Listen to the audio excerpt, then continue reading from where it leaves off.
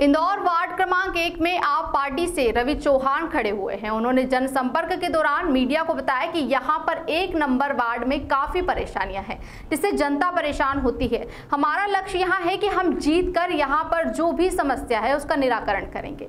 जैसे कि यहाँ पर पानी साफ़ सफ़ाई अस्पताल और भी बहुत सारी परेशानियाँ हैं, इस बार वार्ड की जनता का समर्थन मुझे मिल रहा है और जीत कर यहाँ सभी समस्याओं का समाधान मैं करूँगा। आप जीतते तो आपकी क्या अपेक्षा रहेगी? इस क्षेत्र में देखिए कि सबसे ज़्यादा ड्रेनेज की बहुत ज़्यादा समस्या है यहाँ पे।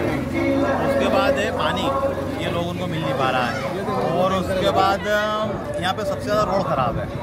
ये तीन चीज़ सबसे ज़्यादा यहाँ पे हमारे को मेहनत करना है।